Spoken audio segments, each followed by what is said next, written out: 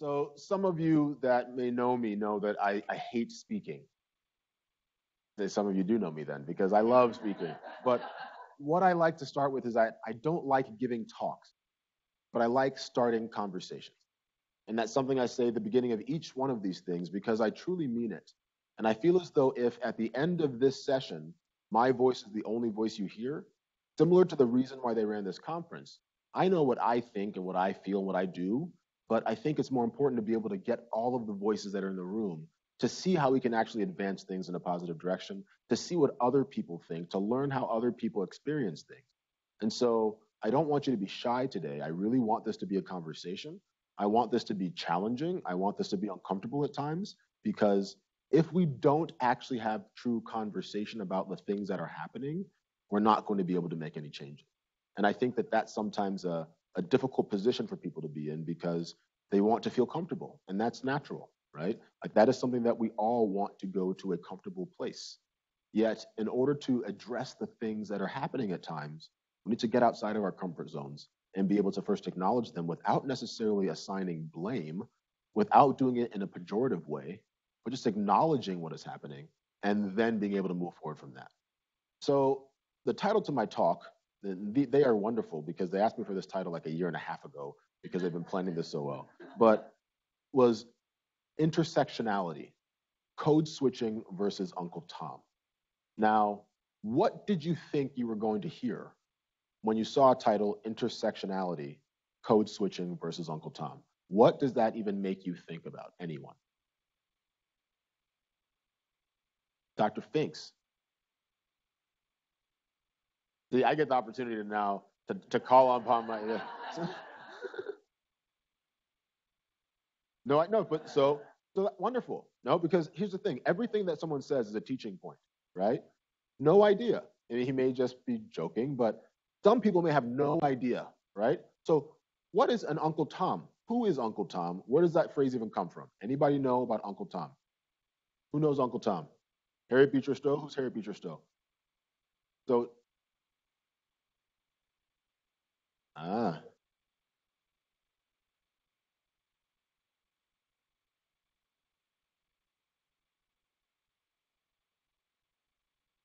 So, so Dr. Joe, I think that you are three steps ahead of many people right now because you just talked about the situation without necessarily explaining what Uncle Tom actually is. So some people may still not know what Uncle Tom. And now here's the thing: who's uncomfortable if I were to say, raise your hand if you don't know who Uncle Tom is, you'd probably be uncomfortable acknowledging that you don't know because you think everybody else in here knows this thing. I can't tell them.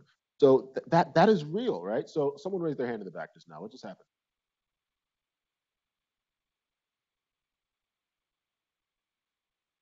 You said that Uncle Tom is what you call a black person who's a sellout, right? So where it comes from, and the interesting thing about what what Dr. Dr. Joe just said is that in Harriet Beecher Stowe's book, Uncle Tom's Cabin, the way that Uncle Tom was originally depicted was not the way that we now actually think of when we use that epithet. It was actually from sort of renditions of that story that came out afterwards that described this man who was a slave in a way that made him sound like he was this minstrel show black man who panders to the white man and, and does everything that they ask him to do for fear of then being beaten or not being let into the house or being seen as difficult or one of those black people that you keep outside, right? So in today's day and age, an Uncle Tom is someone that, as you said, and it, it's it is specifically when it's referenced mostly, you know, a black person thing, but it has been used to really describe someone who is in a position that is lower than someone else or something else, but does not stand up for the things that would actually advance the population that they're in, right? So a sellout. Now, does anybody know code switching? If I said code switching, what does that mean? You're nodding, young man. Young, yes, ma'am.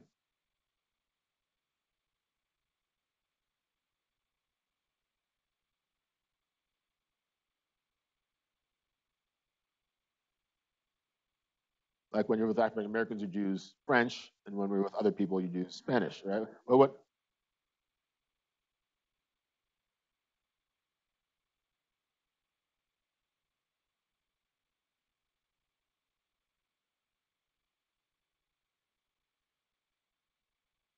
Anybody? Still, still English. Okay. Some, sometimes. Sometimes. Anybody else? Yes, ma'am.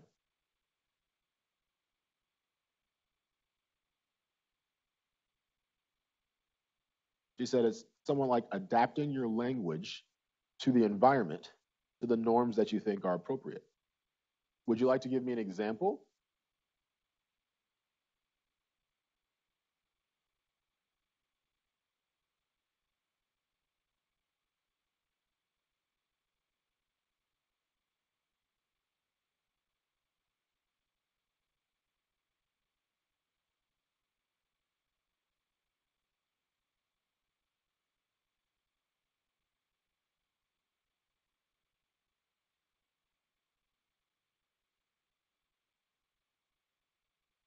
So, I, you know, you jumped right into. I was gonna wait for a bit, but the way you just described that, like, took away all my points. So, I'm gonna do what I do, and I don't know what to say, and I'm gonna let somebody else say it. Oh, you're right.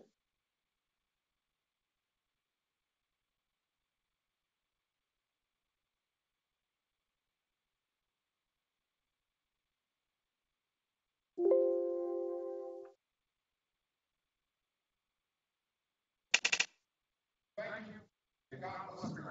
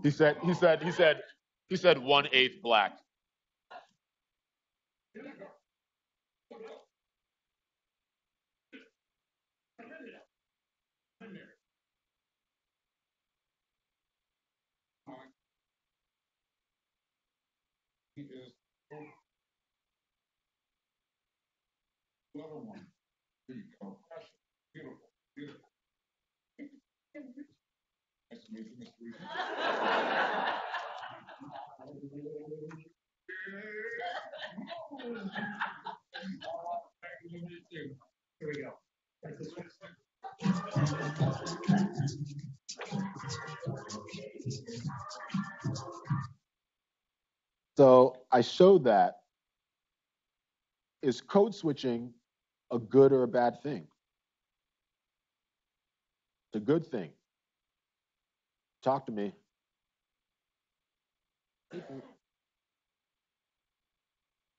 Tell me, talk to me about that. It's a strategic thing. It's a good thing. Tell me more.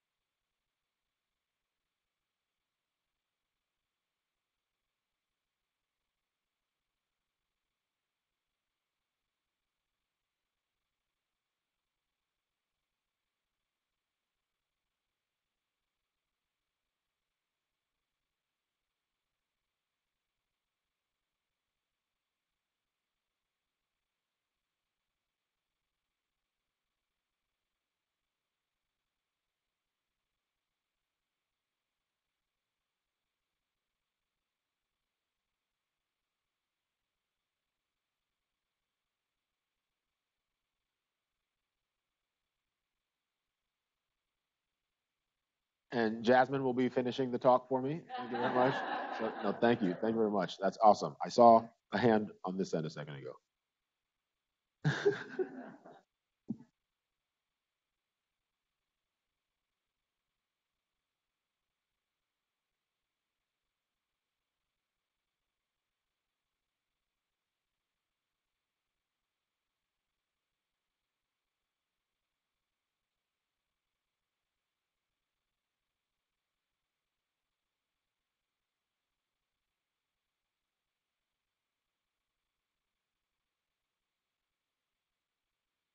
So can you think of any time where code switching would be seen as bad?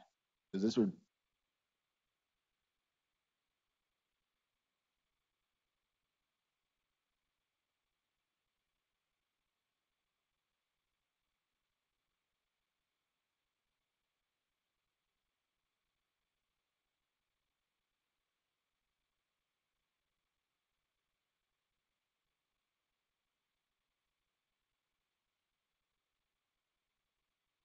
So I, I will use that to tell a little bit about myself for those that may not know me. So I'm originally from Nigeria, born in West Africa. I'm of the Yoruba tribe. These little details I'll tell you will be important because of the various intersections that I feel I have. So from Nigeria, but I'm West, I'm, I'm Yoruba. Then we moved to the States when my family was young. Both of my parents had to redo their residency training at Howard University in pediatrics. My mom then did her pediatric intensive care fellowship at Johns Hopkins. My dad did his neonatal intensive care at Georgetown. We then moved to Indiana, where I went to a private school from third, from fourth grade to eighth grade. I then went back east to Deerfield Academy, a boarding school for high school that is very diverse and has people from all over the world that come to that high school, but it's very elite institution with a lot of privilege that exists there as well. And that was the first time where I realized that I was actually being treated differently because of the color of my skin, which was not something that I'd really ever felt before, because I'd always been around all sorts of people of all sorts of different types and from different places, speaking different languages. And I never felt that specific thing. While in high school, I played basketball, soccer, lacrosse, track. I was a president of my class. I was captain of the teams. I was a leader of the Christian student fellowship groups. I won these two awards that junior year and senior year. That was essentially the, we didn't have a valedictorian, but it was sort of the best representative of the institution as a junior and then as a senior. I was an actor. I sang in the a cappella group. And so I, I did lots of things in high school that I enjoyed as well, not because I was X. I did not play basketball because I was black. I played basketball because I liked basketball, right? I didn't sing a cappella because I was trying to be white. I sang a cappella because I enjoyed a cappella, right? So all the different things I did, the color of my skin or any other demographic factor that I was was not the reason alone for that. But now here's the other thing. All these things do contribute as well. Okay, so maybe it was some of the people that enjoyed the certain things that looked a certain way that then got me interested in doing that. But that doesn't mean that's the only reason you do it. I then went to I went to Stanford for undergrad, where I continued doing some of the things I did. I ran track all four years, was all American, was captain of the team my last two years, and then almost went to the Olympics. Instead of going straight, I went straight to medical school. While I was there, I actually majored in honors interdisciplinary studies in the humanities for pre-meds, and I wrote an honors thesis titled Illness Narratives, the bridge between the kingdom of the ill and the kingdom of the well, where I felt as though a lot of people are wonderful scientists but terrible physicians because they forget about the patient.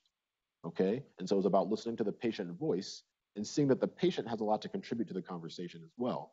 And this should be the primary person contributing to this conversation. I then came to this lovely institution for medical school and spent all four years here before matching into orthopedic surgery residency at Yale. Was in my third year of orthopedic surgery residency that I had a diving accident I had a spinal cord injury and was paralyzed from my chest down with very minimal use of my upper extremities. I had two surgeries there before coming back to the Midwest to do inpatient rehab at the Rehab Institute of Chicago, now called the Shirley Ryan Ability Lab. And I was blessed with some return of motor function, and that drastically changed the trajectory of my recovery. I then went back home to Indiana where I did outpatient therapy and got a master's degree in engineering, science, and technology entrepreneurship from Notre Dame. And at that time, I worked with Cleveland Clinic in something called Custom Orthopedic Solutions, to work on creating medical devices to then have solutions for people's problems. And at that time, I worked on a, a device to make pedicle screw placement and spine surgery faster, safer, more, festive, more effective, and costly. I then worked in the community, and actually, someone who just made his announcement that he's running for 2020, his name is Mayor Pete Buttigieg. He's the mayor of South Bend, Indiana, appointed me to the St. Joseph County Board of Health, and I worked with various nonprofits and technology companies while I was still in South Bend. I was asked to then do a family medicine residency in that town and then completed my family medicine residency before coming back here to be family medicine, rehab medicine, and in the Office for Health Equity and Inclusion. So I say that not to pat myself on the back, but because you hear a lot of the different things that have come into my life. While I grew up, I was too black for the white people, but I was too white for the black people. Even in my country, the way I spoke my language, Yoruba, I was teased that I sounded like an Igbo person, which is one of the other tribes, even though we moved to this country when I was two years old. And the reason that I could speak a language was because my grandparents and my parents spoke some at home, but my friends and I continued trying to speak on our own. So I didn't have any formal training in that language. And so I was trying my best to fit into the culture that I thought I was supposed to be in. And even that was difficult, right? Then in school, I was too much of an athlete for the scholars. I was too much of a scholar for the athletes. In the disabled population, now I'm able to walk some. And so I've lost my crip card to some people, which I'm, I'm serious. And this is something that's in jest at times. But the fact that I can get out of my chair is seen to some as I don't fit the club anymore because I have function that people don't have. But then in the able world, this world is not accessible to us in the same way. And so I'm too disabled for the able bodied folks, too able for the disabled folks. So all of my life, I felt like I've had one foot in one world and one wheel in the other, not being able to fit in. And so I've lived a life of code switching because you have to do it for survival. You have to do it to make it comfortable. And now here's the thing about why I bring it up in this particular setting. We talked about speaking different languages. In what you heard about my story, both of my parents are physicians. Would you agree that the language of medicine is different? And I don't just mean the words, but the language and the culture of medicine is something that if you have not been exposed to that in some way, you don't know how to speak that language. And now, how many of you learned multiple languages when you were kids? How many people tried to learn another language when they were an adult? Which one was easier?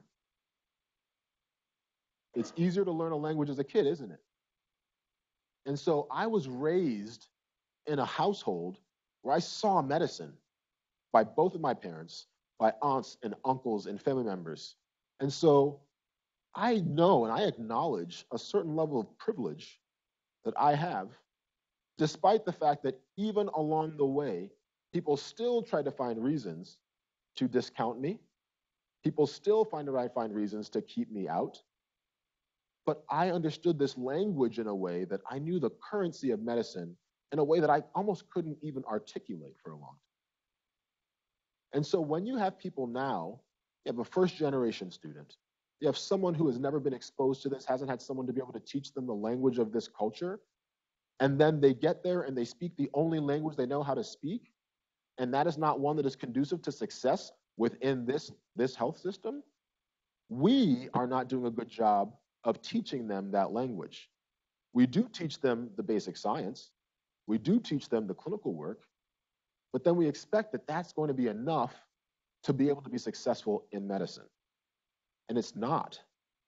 And it's without, without things like Doctors of Tomorrow to then reach down and start teaching students not just the clinical parts of medicine, but how to speak the language as well we're not going to be able to adequately set people up for success. And we need to realize that sometimes it's going to be uncomfortable. Sometimes there'll be people that don't want you speaking another language. There'll be times where it might not be safe. How many of you that your parents speak another language, do you love it when they say it in the language that nobody else can understand? Because if they said out loud in English what they just said to you, you would be afraid that they would have taken mom away right now because of the words that she just used, right?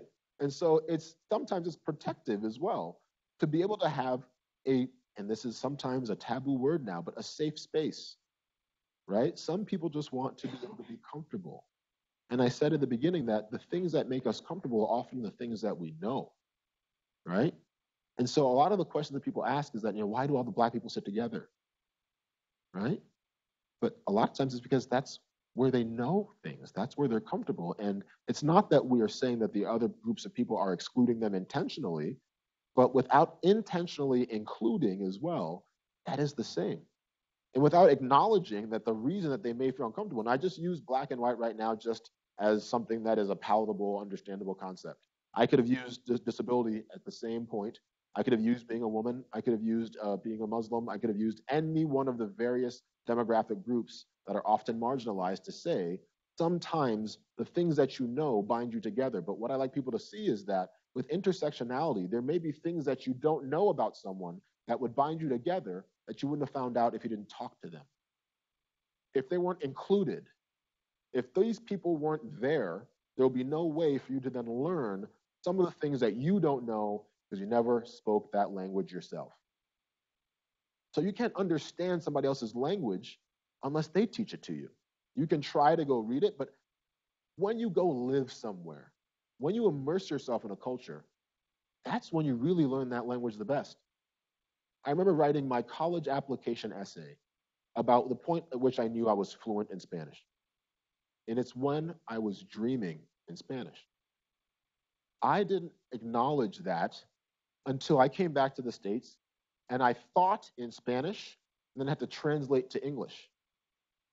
You don't ever really think about the language in which you think until you can realize that you're thinking in another one. And so I wrote this because that was when I realized the point of fluency. That's when I saw that this was something that I could do without thinking. And in fact, I had to actively think about doing it differently. So we have people that know one thing. And then we ask them to come into a system that is very different and expect them to act in a different way for some reason without giving them the tools to know how to act in the way you want them to. And then at the same time, I'm saying this is on both sides because the Uncle Tom part, when you are then seen as the person that is successful in the system because you've learned the language and know how to speak it, it's often the same people that look like you, sound like you're in the same group, that then call you a sellout. Because they think you're not doing what you should do to be able to advance everyone else. Now, there are times where that might be the case. There are absolutely times where that might be the case, where a lot of us could do a much better job of pulling up the people below us. A lot of us could do a much better job of just pulling up the people around us. But we don't do that. And I'm going to be very uncomfortable. Oh, go for it, please.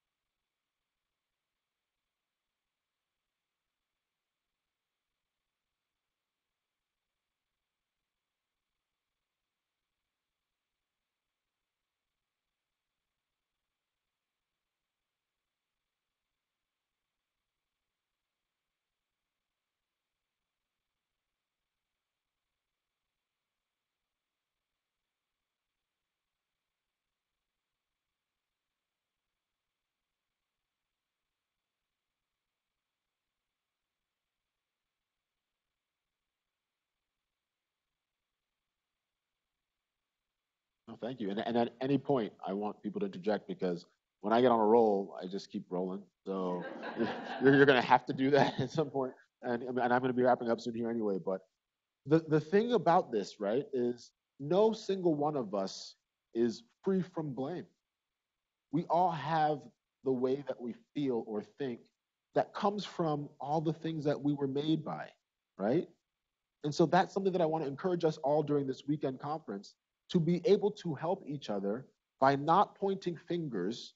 There's a phrase that I used at a talk I gave a little bit ago where I was talking about, so the, the quick story was I gave a talk at Dartmouth and they put me up in the Dartmouth Hotel for. The Dartmouth Hotel is this historic hotel, really, really old. And I was looking inside and I was looking around, there were pictures all on the walls. And it wasn't lost upon me that not a single person in that picture looked like me. And so the next day, I went there and I said, Well, thank you so very much for the lovely accommodations. And I said, No, I, I looked at the pictures on the wall. And interestingly, here you have me for your MLK Day symposium. And there were no black people anywhere, right? And, and this is the thing, though. I say, I don't want to take away from all the people that worked hard to get into Dartmouth because they have to work hard to get into Dartmouth. But what you need to acknowledge is that the reason that there aren't a lot of black people on those pictures is because we weren't allowed in the institutions. So it's not like we just weren't working hard enough to get in. We were working really hard to make the cotton on the sweater with the nice D on it.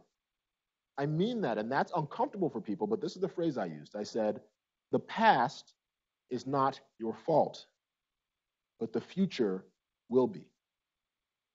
So I'm not blaming for what happened before. But if you fail to acknowledge what that has then created, if you fail to acknowledge the fact that there are things that still exist today because of things that happened within the lifetime of people that are still alive right now, then you're not going to be able to then make a difference. And it's not about blaming people, it's about working together. But in medicine, right, we all come together to come to a diagnosis and then come up with a treatment plan. If you are not in the same page as to what the diagnosis is, the renal guy is going to be doing something different from the GI guy, different from the cardiologist. You're all going to be trying to reach a different goal because you don't agree as to what it is you're treating in the first place. And that's why I like to start with these conversations because a lot of times we're not having the same conversation, we're not speaking the same language. And we need to teach each other the languages that we speak in. And the book came out recently, this is the love languages, right? And I, I almost make that analogy too. People will speak in different languages, and you need to work together to figure out how that person communicates, how you communicate. There will be a give and take, there will be some uncomfortable times, but if you're going to work together to move forward, we need to get through those.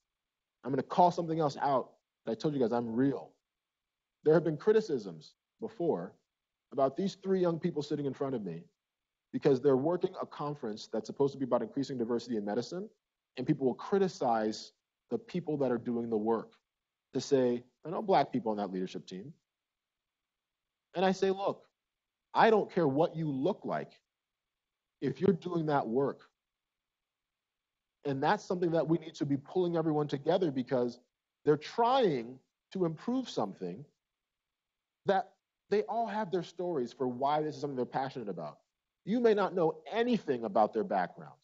You may not know who their parents are. They could be adopted by two black parents and this has been their entire life.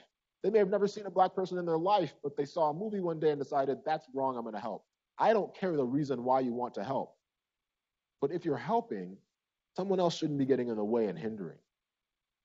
So I want to challenge us all to do a better job of that, to acknowledge the language barriers that may exist, and to do our best job of acknowledging the various intersections that people have. And instead of trying to judge people by what they are not or what they don't have, pull people up and allow them to flourish by letting them capitalize on the things that they do have.